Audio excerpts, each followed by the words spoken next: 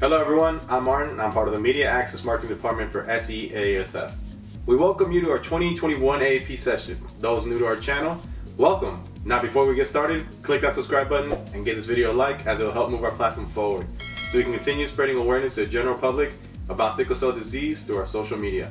As everyone is getting the vaccine, make sure to continue practicing social distancing and staying healthy. Today's session features a client with sickle cell, Stephanie Starr. Stephanie Starr will be discussing an opioid-induced hyperalgesia, the mechanisms behind it, Subutex, the side effects of it, Endari, how it works, and its side effects, and much more. Endari is a form of an oral version of L-glutamine. And it will help basically two groups of people people with uh, sickle cell disease and those with sickle beta thalassemia. Um, L-glutamine is what it is a version of. If we could go on to the next slide, I think that one. Okay, so you know we have as as SCD patients, we have messed up uh, hemoglobin, and hemoglobin does the work of carrying the oxygen. Um, and it is a protein itself that carries oxygen in red blood cells oxidation damage of the cells is what causes them to get that stiff, sickled shape instead of the nice, squishy donut shape that it usually is. Glutamine is a protein that has three major roles in cell metabolism. One of them is protein synthesis and i forgot to actually look and put this the actual definition of that and then it's an antioxidant and it will it will help um, it will help keep the cells from getting that oxidation. And the other thing that i absolutely adore it for is it is your there are two main sources of energy and one of them is sugar and one of them is glutamine. Well no wonder we were so like always tired and no energy well Endari allows us to absorb any glutamine running around in our blood um, and use it to produce the antioxidants that will keep the rest of our blood nice and um, hemola, hem, present with the hemoglobin in it. So when I started taking Endari and booze, I am not a person that likes to take new drugs. So I had lots of questions about this. And um and the thing is, I think can we go to the next slide because uh -oh. okay because um Endari is administered, it's a powder. I'm on three packages of it twice a day. I said three times a day. That's wrong. That's a typo. It's twice a day. You put it in either, um, basically, there's two ways either people drink it or they eat it. But whatever you put it in has to be room temperature. So I cannot stand the it does something to the texture of the liquid that doesn't work for me. So I put it in applesauce um, or pudding or oatmeal. Apparently, you are in one or the other of the camp. The camps. You're either uh, a drinker of it or you are an eater of it. I choose to eat it, and it does. It gives you. Um, you feel the difference in the energy um people would ask me how I was doing, and it was always, I'm tired. I'm tired. Well, now the Endari has come out, I see how it is. I see why. It makes sense now. This is why I was always tired. Um now I don't I'm not I'm not as tired anymore. Now the issues that I have are more from my avascular necrosis that's causing issues right now. But, you know, we work around that too. Um, so I, I have on here the average dose is three packages twice a day. Um, Solomon, you like Arendari. You drink, it. yeah, I can't. I can't. Nope, nope, nope, nope. But as long as there's applesauce, life is good. Um, can we have the next slide, please? These are the side effects that were listed. So, okay, so when I was first prescribed Endari, I talked to the pharmacist and they were like, oh, okay, here's the side effects chest pain. Okay, can you be more specific? Because I need a little bit more than just chest pain. I'm a sickle cell patient. You got to narrow it down for me somehow. What kind of chest pain is it that you're looking for?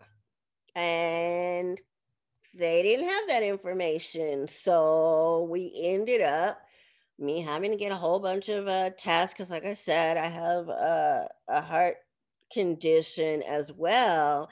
So we needed to make sure that I would be okay on this this medicine. Um, I I understand to a degree why when they're doing studies they they put it vaguely, but it would seem to me if you are working with a population that constantly has a very specific type of chest pain or whatever, there should be a way to indicate that no, we're not talking about that kind. We're talking about, you know, something else. So it took a while before I was able to get my Endari, but I'm I'm feeling it. I, I definitely like it. Can we have the next slide, please? How does um how do does it make you feel, Solomon? Um it makes me feel great. Like you said, it gives me more energy because it's something that us sicklers don't produce naturally because we're supposed to produce that naturally in our mm-hmm. DNA chain, I believe.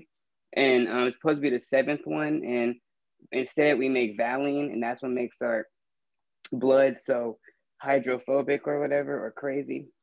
And so um, when I took it, it took me a while for it to kick in because I have beta sickle thalassemia or oh, whatever. Really? Mm-hmm. So it took me a while for it to feel anything, to be honest. And um, while I was taking the Endari, I was also um, detoxing and taking um, glutathione, which is mm-hmm. Uh, L-glutamine is one of the precursors to glutathione, you know, and we need glutathione in our bodies and we don't produce it to begin with. And if we do produce it, we produce it very, very, very, very, very low. And that's one of the master antioxidants for our body to even live longer, to just it like mm-hmm. really helps literally everything, especially in our blood, you know. So I take Endari and I take glutathione every day, and my energy has been really good. My skin has been clearer. Um, I don't have yellow eyes anymore. Uh, my hair grows and all that stuff. So yeah, that's I great. Like it a lot. Mm-hmm. Mm-hmm. So I, I, like praise it. Like I mean, I like testify on it. Like I really believe that everybody should be on Endari that has sickle cell because yeah, we need it. It is a really good drug. The next mm-hmm. slide we have is a drug called, well, it's Deferasirox is its name, but uh, it's Jadenu. Now, I am or was like crazily iron overloaded. Um, like insanely off the charts iron overloaded. Um, your normal iron levels are supposed to be like 400, and mine was 13,000. So you don't want extra iron bopping around in your body because it will stick to every possible organ and system. Um, as a matter of fact, the fact that we have become iron overloaded due to transfusions is why they changed the name from just plain sickle cell anemia to sickle cell disease. Because those of us that are iron overloaded, we're not anemic by any stretch of the imagination. So they had to change the the name to make it more um more reflective of our actual situation. So Jadenu um, I cannot take Exjade in its other form, which is pill form that you mix up with orange juice. Um, and I was doing the IV version, but man, that's work. That was work because you had I had to do it for eight hours every single night, hooking up to my port. Um, you know it's it's a lot to do when you walk in the door and you're already exhausted it's a lot to do to get all the supplies together and check the batteries and get the pump and do the sterile this and the sterile that so i was very happy to uh, find out about Jadenu. The other interesting thing about Jadenu is it works quicker because the the um, Desferal, which is the oldest version of the drug, takes forever to clear your iron. The purpose of Jadenu is an iron chelator, which means it pulls it out of your body or it binds to the iron so that you can uh, release it from your body. I don't remember if it's through urine or stool, but it gets out of you. It's used to treat chronic iron overload from blood transfusions, which is a condition called transfusional hemo, I can't say it, hemosiderosis, um, which a lot of us end up with if we are not being properly um, transfused. And by properly, I mean like I go to San Francisco every month to get my apheresis, which is a procedure where they take out three units of my blood and put in three units of whosever blood we're using. Because they take mine out, I'm not getting any extra iron. I'm basically staying with the same amount of iron as I had when I walked in the door that day if you just get a regular transfusion where you know they just throw a couple of units in you um one it doesn't it doesn't um feel the same it isn't as restorative as when you have apheresis um it's kind of like apheresis is a lot like Endari, you definitely feel the difference. Um, I was always confused as to why people would, when I would get just a regular transfusion, they'd be like, okay, well, it's, oh, the bags are in. You feel better yet? No, no, I don't. No, no, no, I don't. Why? Because all that sickled blood is still in me. So, no, I don't feel better. I will eventually feel better, but not right now. However, with apheresis, yeah, I do. I feel better by the next morning because my blood is now not quite half and half, but a good amount of healthy blood in there with all the glutamine and energy that it provides. It's there. So um, I am definitely a, a, fan and a proponent of getting apheresis as opposed to just allowing them to give you a couple of units of blood. Um, it definitely has a completely different outcome, and you don't need extra iron because you don't want to be like the tin man in rust and need to be screaming oil can every five minutes because yeah, not a good look for everybody else. That's good, Stephanie. Throw a little levity in there. That's wonderful. You're great. You're doing great, Stephanie. Thank you. Um, can I have the next slide, please? Anybody having questions? Yes, that is exactly why the name changed. That is exactly why. So Jadenu is administered in tablets. And here's the really cool thing I didn't know until I was researching this. So for Jadenu can be taken by children as young as two years old, but they get this really cute kind of Jadenu that looks like um what is that crystal light or something those little powders you can put in your water and it flavors your water. So theirs is called um sprinkles. They, they have these little it look like little granules of sugar and they mix it in and looks like kool-aid and they have a jolly good time taking their Jadenu. The pill forms are a bit um too big for a kid. They're they're I mean they're kind of big, but they're they're shaped better than like crazy stuff like calcium. They are shaped they're oblong so they will go down, but they are also very big. But they do their job. So um, can I have the next slide, please?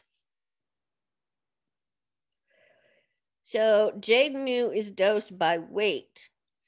Um, and for adults, you get the tablets 3.5, 7, 14, or 21 milligrams per kilogram per day.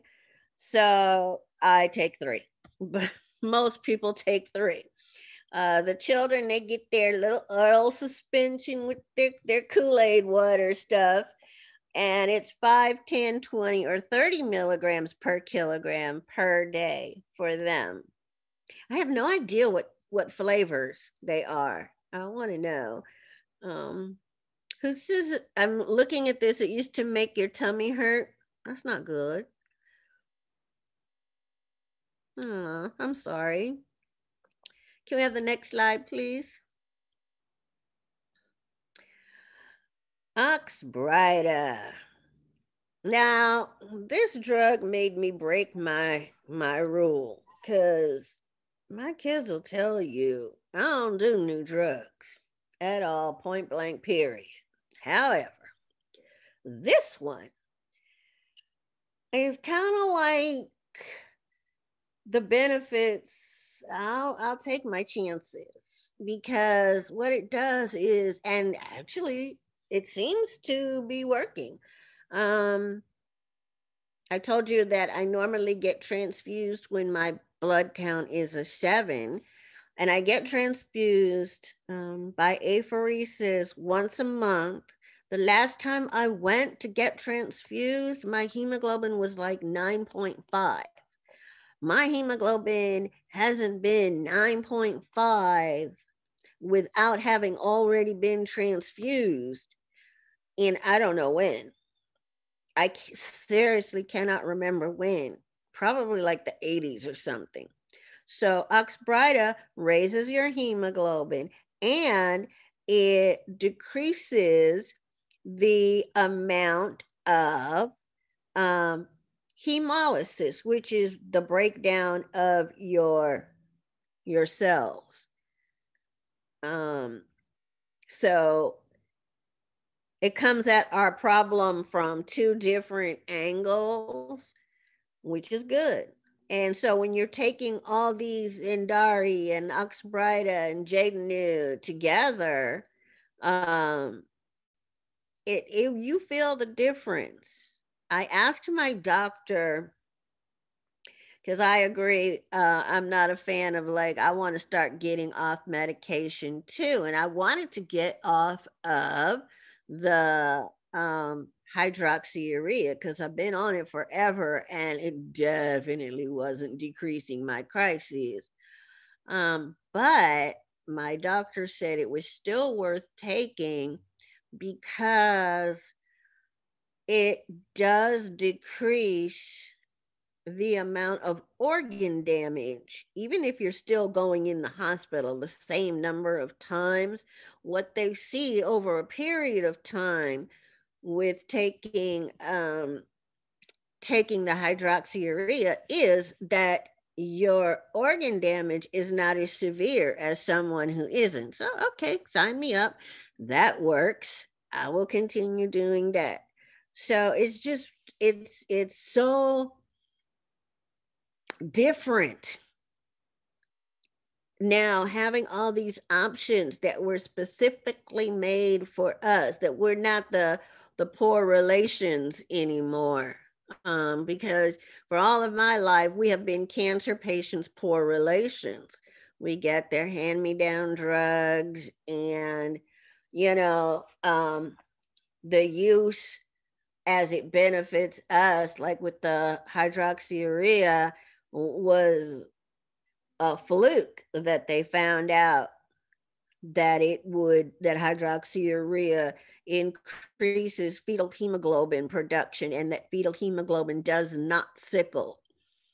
But to have drug companies who when i was a child were absolutely defending the fact that sickle cell was what was called an orphan disease that meant there weren't enough people that had it to make it profitable to make the drugs. To go from there to we've got at least three or four companies that are actively doing it. My question was always how exactly are you doing the math? Because sickle cell, I mean, that is the most common genetic mutation on the planet. So, if that's the most common genetic mutation on the planet, and it's found in every um every population, not just black people, but like literally everybody, how is it that it's not profitable to make drugs? I think they finally come around to the fact that there, yeah, there are enough of us that make it very profitable. So it's a totally different feeling. I'm not sure what to do with it yet. Can I have the next slide, please? Anybody have any questions? Ooh. Aww. Calvin A, you said you have the worst side effects with Jadenu and Oxbryta. I don't think I've had any side effects with those two. But I do know somebody else that also said that they had issues exactly with it.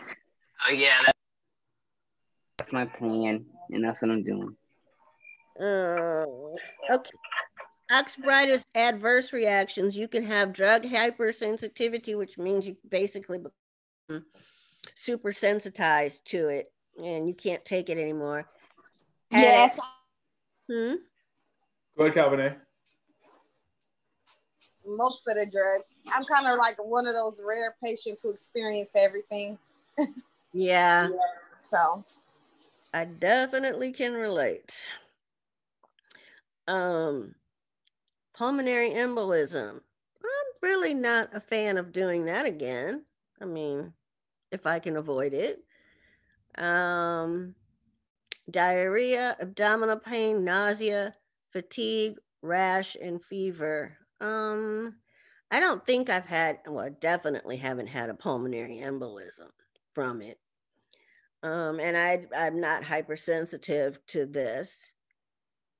Um, so in me, it hasn't been that bad, but I do have a friend who was like, oh no, no, no, no, this was worse than being pregnant. So, I mean, everybody is an individual and you're going to react differently and it's up to you to decide you know which which side effects are or uh, or reactions are you worth are worth putting up with if it's helping you with your energy and everything else um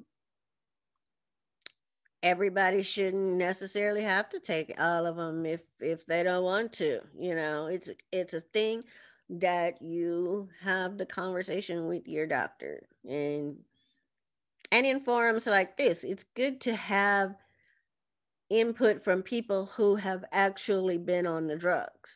I think that is a conversation that in any situation needs to happen you need to have access to the people that have actually already used the stuff and have them tell you you know so the better informed you are the better off you your decision making is.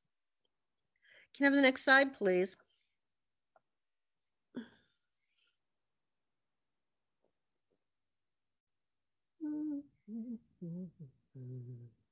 So, how does Oxbryta work? Now, this is remember I said I am not a person to jump into taking new drugs. Not a fan. Nope.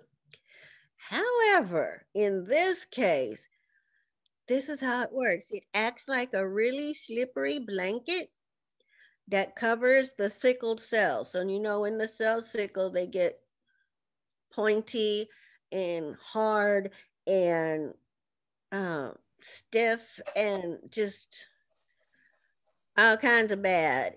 Yeah. But this blunt, this, this, this Oxbryta acts like a blanket and it covers the cells. And because it's this nice slippery little blanket, they can't stick to each other. Mm. And they um, are closer to their normal shape with the addition of this blanket that is now over them. So it's not getting stuck in the small veins and capillaries, mm. and there's no traffic jam that is causing all this pain that we're used to in a pain crisis. Now, that kind of made it worth, you know, if it really did that, worth giving it a try. Um, I still think that in my case, that the the thing that made the biggest difference is the Subutex, but um, definitely even now when I have sickle pain, it's other than the other than in November when we had this re- that really cold cold spell. Um, I'm pretty sure I have been in crisis at least once, but I w- was fine at home.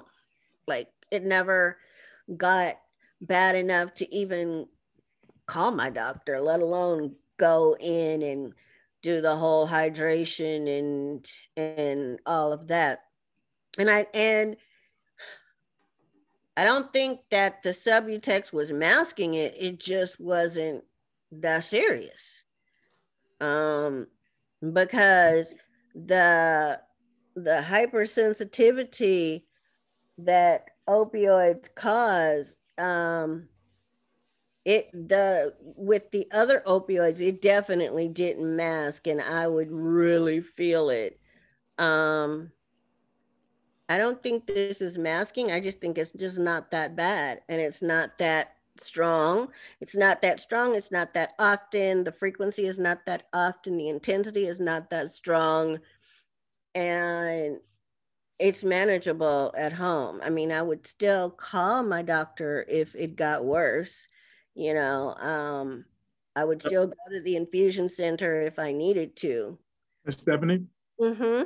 Is this paired with anything? Is when when somebody takes Oxbryta, is it paired with another another treatment or another drug that are these My- always My these doctor standalones? actually wants um actually wants people if they're willing to do Endari Oxbryta and Jadenu. And for those that are willing to who are willing to try to um do the subutex she's perfectly willing to to write for that too but if you're still going to do narcotics those are the three that she puts together the oxbryta the Endari, and the Jadenu. Of course, if you haven't had that many transfusions in your life, you wouldn't need the Jadenu. But if you've had a lot of transfusions, it's kind of the trifecta. Got it. Um, can I have the next slide, please? Okay, so like thing about Oxbryta, Jadenu, and Endari is it's not like you can run down to the neighborhood CVS. There are things called specialty pharmacies, and they are pharmacies that make compound medicines. A compound medicine is a medicine that does not come from the manufacturer already in its final form. So, like when Tylenol is made, it comes straight from whoever makes Tylenol in the box, ready to go. You don't have to do anything else to it but take it. Well, other medications need to be mixed with one or two other ingredients to make that final that final um final drug. Um it can also be a situation where the amount of of um, people taking it it's not enough for it to be on a regular pharmacist shelf all the time. In the bay area walgreens oh wait a minute. Community is where i get one of my drugs. Can't remember. There's so many of them. Um that's the one. Actually let me tell you in a minute i think. Bang. Okay so yeah walgreens community does my deference my Jadenu. um and they are in the bay area and um they were very easy to work with um, they are on Market Street, 2262 Market Street. And I'll put it, well, I'll put it in the chat before we finish. And I'll put the phone number. But they did a wonderful job. They did it really quickly. They mail it to me. Well, they have it delivered to me actually. Um, works great um, US Bioservices, I think is in Texas. They do my Endari. And Oxbryta comes from a CVS specialty pharmacist. So, yeah, sometimes it has to come from several different places. But the other thing about specialty pharmacists is they're used by people with lots of chronic or complicated diagnoses and they are very good at um, working with manufacturers and insurance companies to get you the best discount that they can find for you and they will deliver it to your house um, when you run out they'll set up like they'll call you some of them have apps that you can download and uh, do that to reschedule your medications, but they will definitely work with you. Um, so it's it's kind of nice. It's kind of um, different than a regular pharmacy that you've got to go there and stand around for an hour waiting for them to do whatever. Um, it's nice that they call you um, and they deliver it to you. And if your insurance, like, you know, certain insurances, you don't even have to pay. Or like one of one of mine, it's like a dollar thirty-five. I think that's the Jadenu. Um, the Endari I don't pay for, and they're very expensive drugs. Um, but I don't have to pay for them. And the Jadenu has brought when I first started going to San Francisco General, my um iron level was in the 7000s when I first started Jadenu. And in a month, it went from 7,000 to 5,000. So my doctor says that she has patients that completely go back to totally normal levels of ferritin in their bodies with this Jadenu. And it was taking, I can't even tell you how long I had been on the IV version. It had been forever. Um, and this was that big of a drop in a month. So um, hopefully within the next two or three months, um, mine will be almost back to normal. And then we're going to have our own bell ringing ceremony. Um, actually, I think it's going to be a drum, drum beating ceremony. Um because it's a big deal. It's a big deal to get that iron out of your system because it is extremely dangerous to have floating around in there. Um that was causing major issues so that we have this is amazing i don't know if that's the last slide or not um i don't remember Uh, you, you have one more. Okay, we can do that one. Ah, there they are. US Bioservices does my Endari. Walgreens Community does my Jadenu. GBT provides my Exjade. Thank you, daughter. um, one of my twin, my one of my twins is on here as well. So, hello, sweetie. Nice. Any Okay. questions or anything from anyone? Or any subjects that you want to discuss? I had a question with that information that you received about results for people getting back to normal after taking Jada. Mhm. Is that actively available for somebody to find somewhere, or is it specifically information that comes from um, a care physician? This one came from my actual care physician, but I will find out if there's a an actual like, you know, who's tracking it. And because that's my okay, so my physician is she was she spoke to the group last year, Robin McBride. So Okay. All righty. she's the one that prescribes all my stuff and has that information. So I will see if I can. I have to see her in a couple of weeks, as a matter of fact. Nice. So I will track it down. Yeah, that's most of it.